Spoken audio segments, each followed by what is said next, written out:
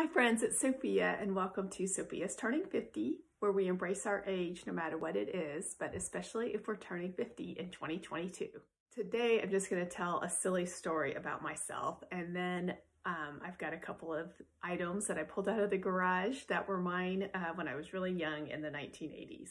Okay, today I'm just gonna tell a little story about um, the way I, one way that I was when I was younger that has kind of evolved as I've gotten older um, you know, when I was trying to think of stories in general, you know, because I kind of had wanted to do a storytelling video, all of the stories I could think of from my youth were a little bit too in the gutter, we'll say. I, I don't know why I can't think of um, funny stories that don't involve uh, debauchery and alcohol, but I just can't. And so one thing I wanted to ask all of you um, is if you can if you know a story from youth, it could be as early as elementary school all the way up to law school. I'm trying to keep it when I was relatively young.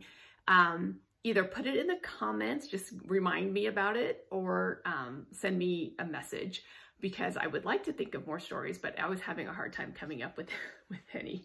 But um, one thing I do remember, it's not necessarily a story, it's more of a, was a, a character trait of mine, is that when I was in college, um, all of my closest friends um, referred to my schedule, I would say, as Sofia time.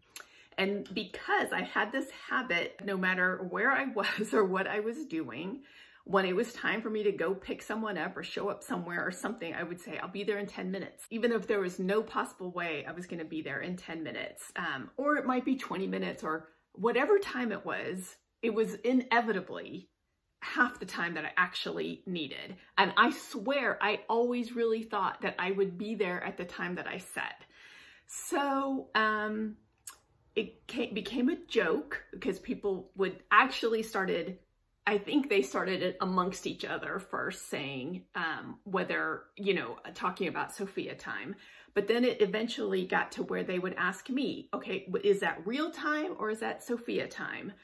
And it would force me to think about whether or not I was actually going to be there at the time that I said I was. But I will say I've gotten much better about it. Um, it primarily because of Nathan. Uh, he is very punctual and very strict about times. And um, early on, I learned that if you are late for him, it's you might as well spit in his face. He does not like that. He likes to get places on time. He doesn't want to be late.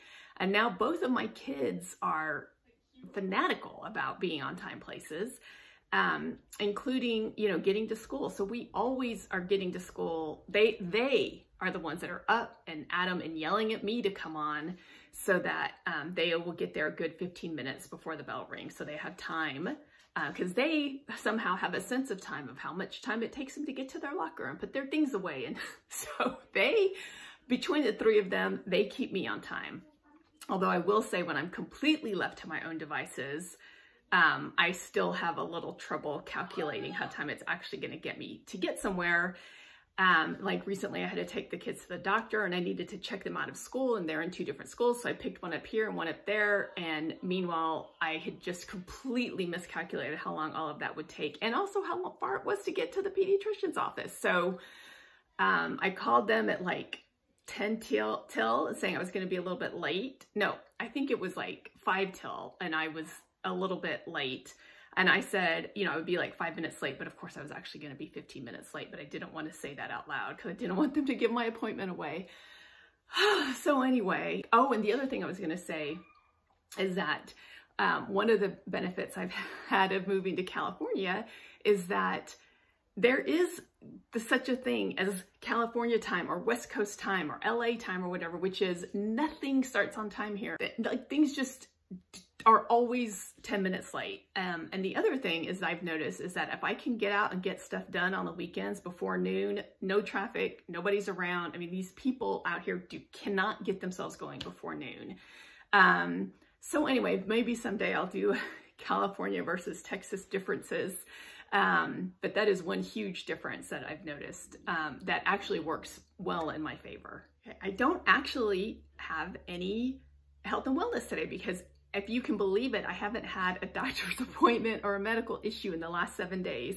And so we're going to skip that this week. I'm not going to give you a health lecture or anything. Um, and so I thought we'd just do a real quick, um, what are you reading segment. And so, you know, I'm trying to read more this year than I did last year. So the first one that I'm reading right now is uh, David Sedaris, Carnival of Snackery. I really like all of his books, so highly recommend that.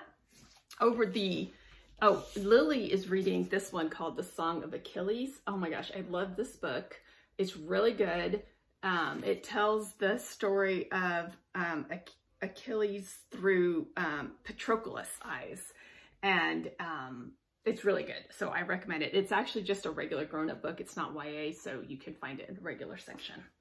And then over the Christmas break, I kind of really jump-started my uh, reading. Um, I never showed this at the last when I talked about books. So this is another really nice illustrated set of books that we have that my sister um, got for the kids uh, because it, it is, anyway, it's illustrated Harry Potter.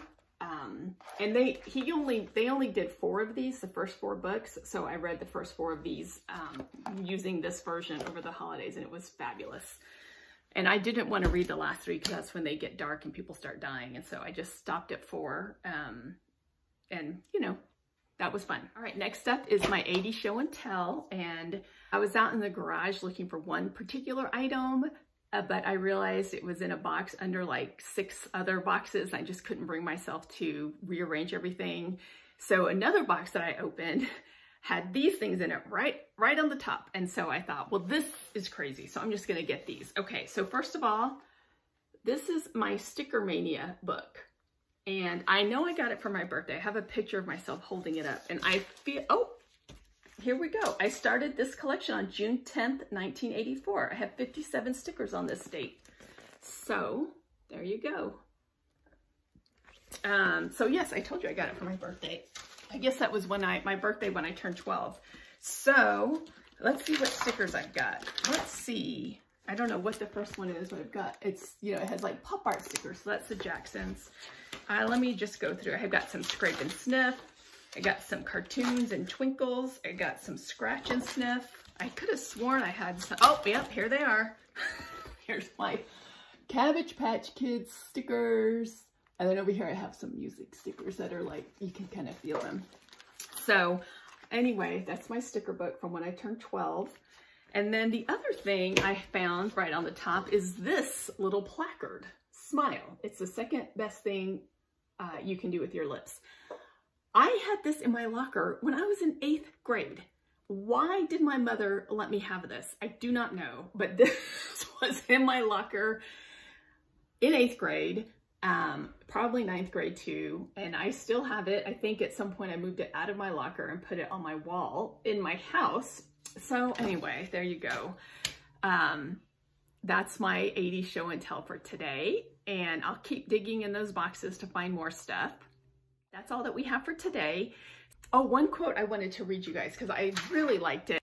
This was a reporter wrote about this in the New York Times right at the end of the year um, when she was kind of looking back on her year in review. Um, Melissa, uh, reporter Melissa Kirsch says, the best piece of advice I received was from a friend quoting the philosopher Alan Watts. You are under no obligation to be the same person you were five minutes ago. I just love that.